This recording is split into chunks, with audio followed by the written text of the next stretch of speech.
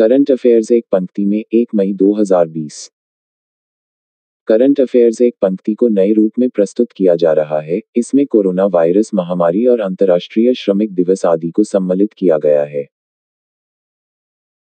हाल ही में जिस संस्था द्वारा जारी की गई एक रिपोर्ट के अनुसार सीओवीआईडी 19 के कारण वर्तमान में विश्व की आधी श्रमिक आबादी के लिए अपनी आजीविका खोने का खतरा बन गया है। अंतर्राष्ट्रीय श्रमिक संगठन बजट पारदर्शिता और जवाबदेही, बजट ट्रांसपेरेंसी एंड अकाउंटेबिलिटी में भारत को जितने स्थान पर रखा गया है, तिरपन।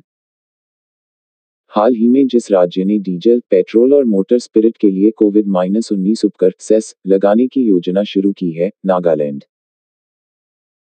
एशियाई खेल उन्नीस सौ बासठ की स्वर्ण पदक विजेता टीम के कप्तान रहे भारत के जिस महान पूर्व फुटबॉलर का हाल ही में दिल का दौरा पड़ने से निधन हो गया, चुन्नी गोस्वामी। हाल ही में जिस देश को 2021 विश्व मुक्केबाजी चैंपियनशिप की मेजबानी दी गई, सबिया। अमेरिका ने कोरोना वायरस से लड़ाई के लिए US agency for international development के ज़रिए जिस देश को और 23 करोड़ रुपए देने की घोषणा की है, भारत।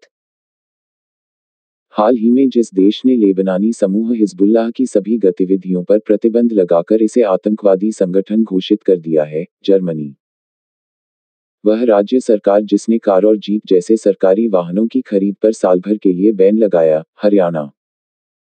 अंतर्राष्ट्रीय श्रमिक दिवस इंटरनेशनल लेबर डे, जिस दिन मनाया जाता है, एक मई। हाल ही में किए गए अध्ययन के अनुसार, जिस नदी पर चीन द्वारा बनाए गए बांधों के कारण अनुप्रवाह देशों में सूखे की स्थिति देखी गई, मेकांग नदी। Please subscribe my YouTube channel. Thanks.